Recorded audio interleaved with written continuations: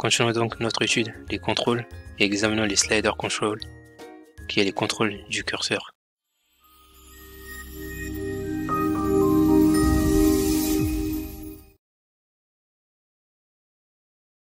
Donc, le contrôle du curseur est utilisé lorsque nous voulons que l'utilisateur fournisse une valeur numérique. Il se compose donc d'une piste et d'un pouce que l'utilisateur peut faire glisser. Alors ajoutons-en à notre grid pour voir à quoi il ressemble. Nous avons donc besoin d'une bonne quantité d'espace horizontal pour cela. Donc slider, et on va avoir une ligne qui est égale à 2 et une colonne qui est égale à 2.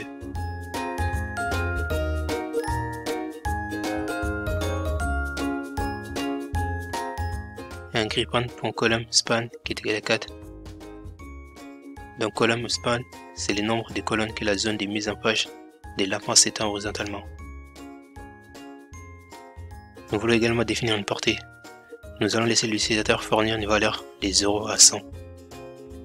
Nous spécifions donc la portée en tapant min qui est égal à 0 et qui sert à notre portée de départ et le max qui nous fixons à 100. Si nous faisons cela, alors nous pouvons l'exécuter.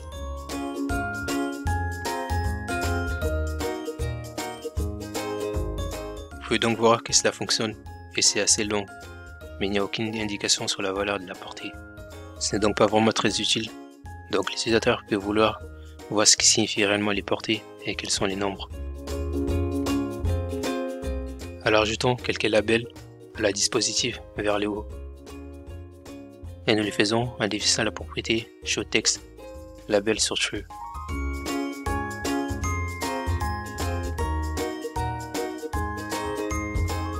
Maintenant, si nous exécutons cela, nous devrons avoir la portée des nombres.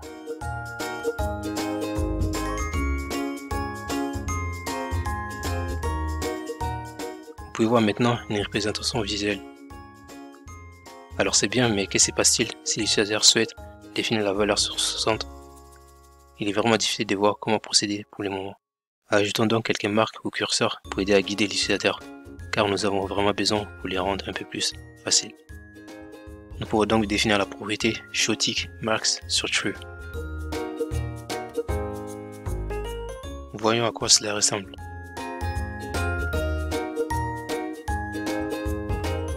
C'est évidemment mieux maintenant. Nous avons en fait des petits traits ici, comme vous pouvez le voir. mais ce n'est toujours pas vraiment utile si vous voulez savoir comment régler la valeur exactement sur 60. Montrons donc plus tick marks en définissant la propriété des ticks mineurs. Maintenant, cette propriété du contrôle du curseur nous permet de spécifier les nombres des tick marks que nous voulons entre deux ticks majeurs. Nous pouvons voir qu'il n'y a que trois ticks mineurs entre chaque tick majeur. Ce sont ces trois ici, donc vous pouvez le voir entre ces principaux qui ont évidemment un numéro dans ces ticks et puis il y a trois sous-ticks. Alors changeons cela en 4 car les ticks marks majeurs sont définis par un incrément des 25. Nous voulons donc diviser la zone entre les ticks marks majeurs en 5 morceaux. Donc les petits traits. Et nous allons venir ici et taper minor tick count est égal à 4. Nous faisons donc cela au lieu des 3 ticks mineurs, nous en faisons 4. Si nous exécutons cela,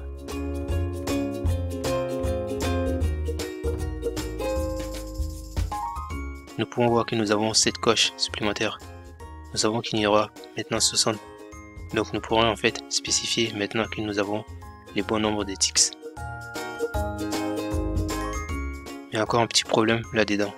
Lorsque nous les faisons glisser, sommes-nous exactement sur 60 ou était-ce 61 ou 59 Comment ça nous réellement Eh bien, nous pouvons offrir à l'utilisateur encore plus d'aide en définissant la propriété snap to 6.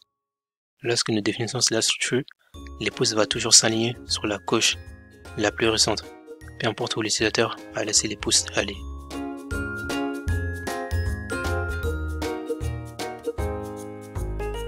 Si nous exécutons le programme,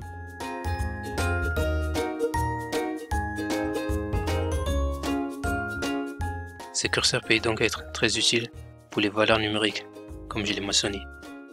Et de cette façon, nous savons que nous sommes beaucoup plus précis maintenant. C'était tout pour cette vidéo. J'avoue que c'était un peu plus compliqué à comprendre. Dans la prochaine vidéo, nous allons voir les spinners. Allez, je vous dis à la prochaine.